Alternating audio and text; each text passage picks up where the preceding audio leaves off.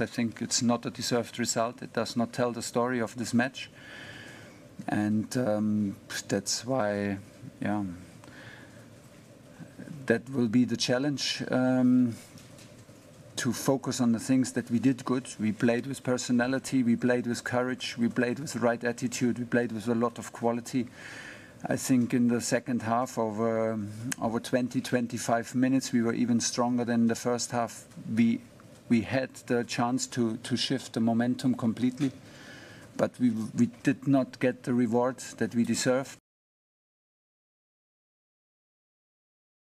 This is the highest level in world football, and it is okay. It's it's normal. Nobody takes his head off, and and nobody is mad at him and angry at him. But okay, this is a, a mistake that should not should not happen on on this level in on on. Uh, on this part of the field, of course, and uh, Upa had unfortunately like two, three moments where we, where he took uh, risky decisions, um, where he did mistakes. He will learn from it.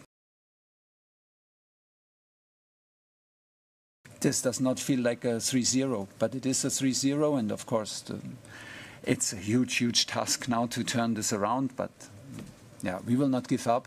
We are realistic, but we will not give up. And football is football, and home match in Germany is a home match in Germany. And like they say, we will. It will be. It will. Uh, it will not be over until we're in the shower.